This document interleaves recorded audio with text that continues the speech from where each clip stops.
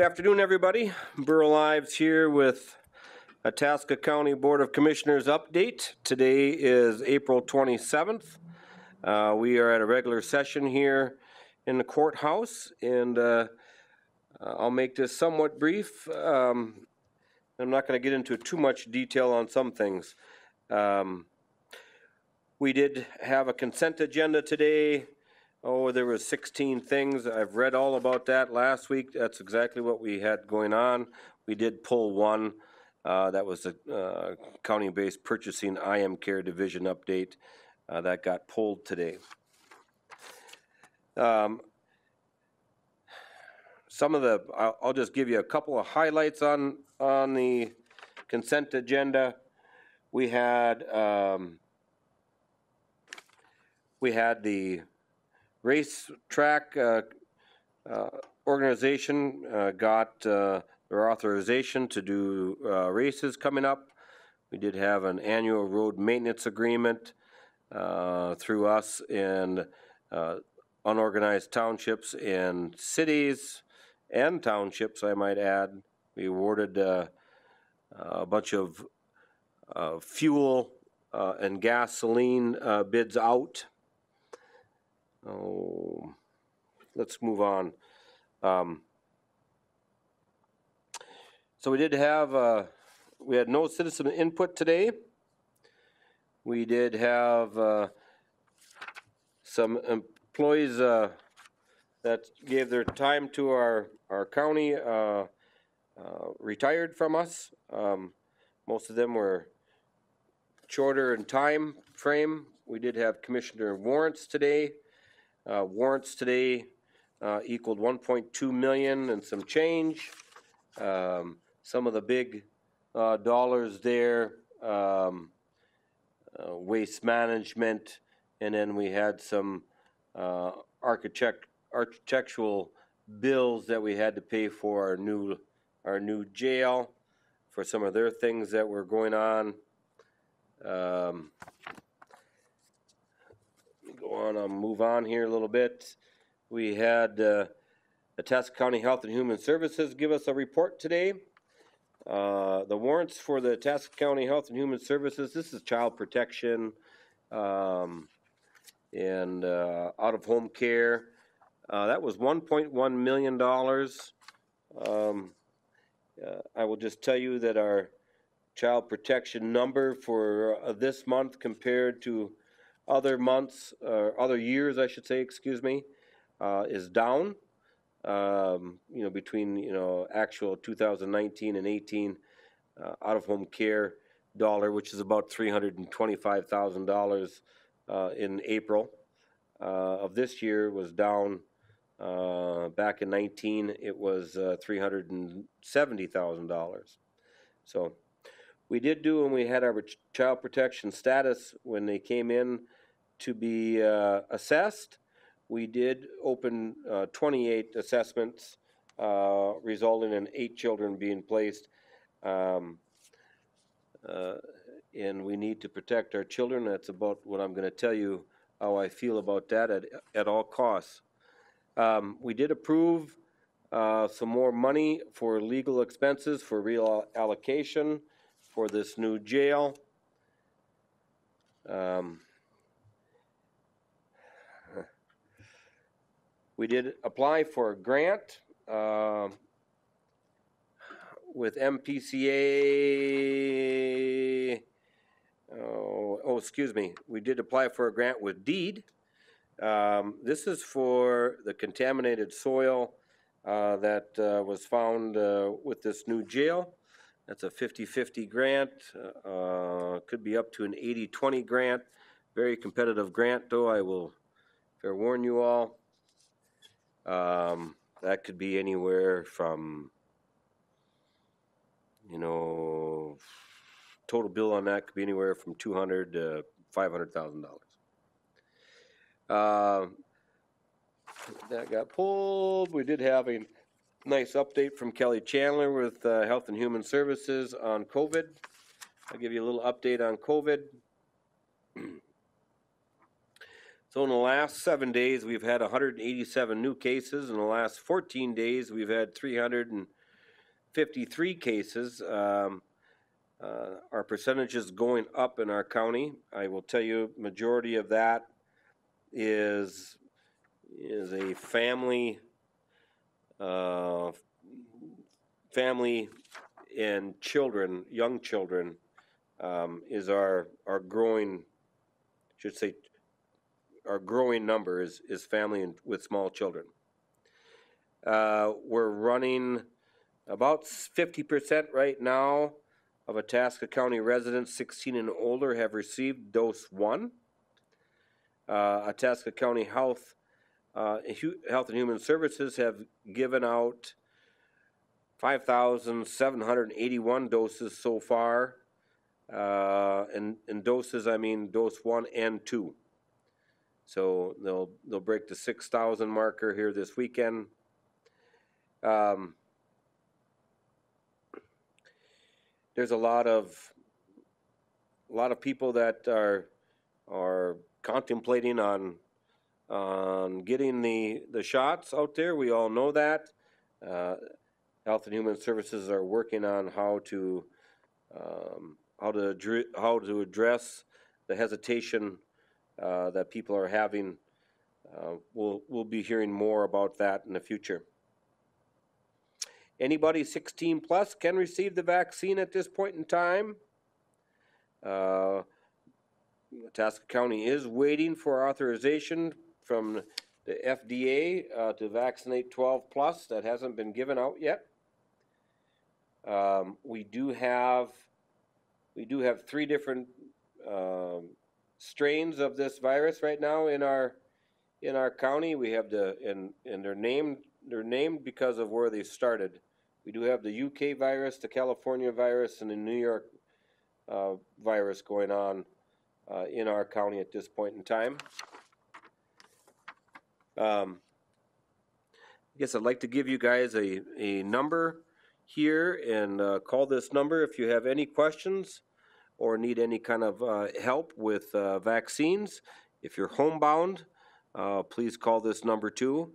Uh, and, and if you have an organization that would like to host a vaccine clinic, please call this this number too. And that means work, school, churches, um, organizations, uh, anything along that line. Um, no, the, the phone number is a recording at this point in time. You leave your name, your number, uh, and then they will get back in touch with you. But uh, here is the number. It is 218 327 6784. You leave your name and your number, and they will call you back. Um, there is some clinics coming up, uh, some vaccine areas on uh, May 13, 13th. They'll be in Keewatin. And there was one other date. Uh, it is not on my sheet here. I apologize. All right. We're going to move on. Did have a nice report from MnDOT and ARDC. Uh, this presentation was about the area transportation improvement plan for 20, 2021 and future years. Um, give you an idea here locally, uh, between 2022 and 2025, uh, this is what uh, that's going to happen in Itasca County. Uh, so Highway 65 up by Togo, uh, that goes up towards Littlefork. Um, that will be done in 2022.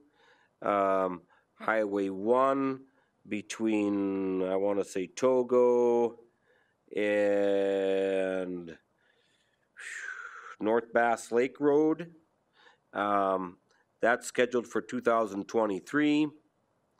Uh, Highway 38, uh, Mississippi County Road 14 resurfacing. Um, that will be done here in 2023. Then County Road seven resurfacing, that's up on, on Highway thirty-eight to, to County Road seventy-five in that area. That will be done in two thousand twenty-three.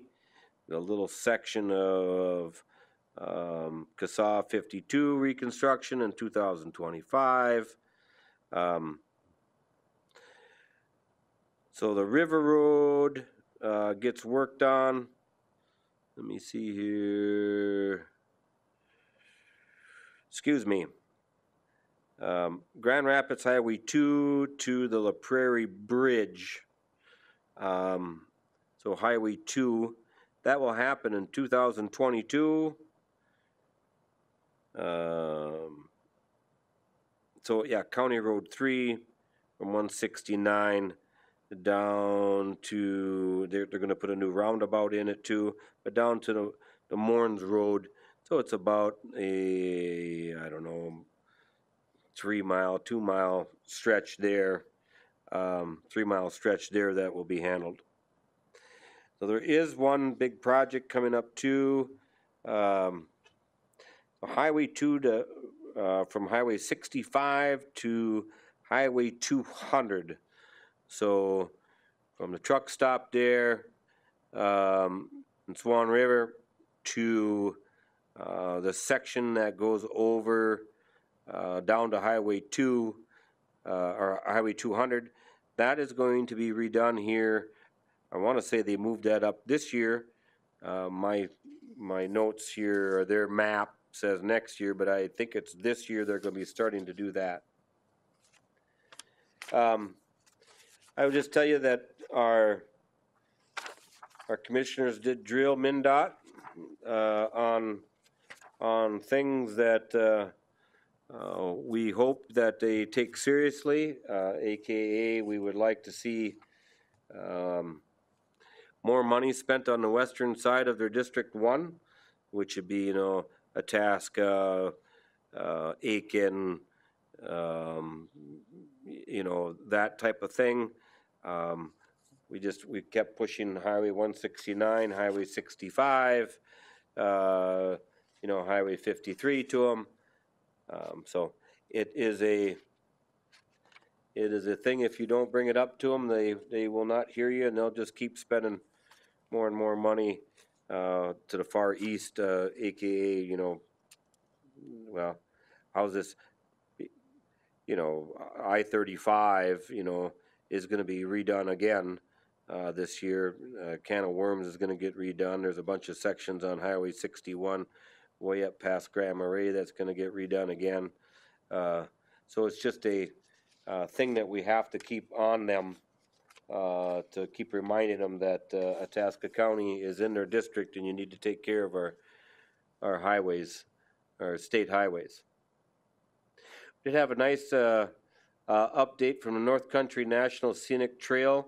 This is a walking trail. Um, this walking trail would, uh, when finished, will be the longest walking trail, in the nation. Um, it'll be forty-seven hundred miles long. It'll go from, uh, North Dakota to Vermont. Um, some of the things that uh, they're working on right now, uh, they did get some legislation passed to help, uh, uh, draw the section between Ely and, oh, Grand Rapids, I guess.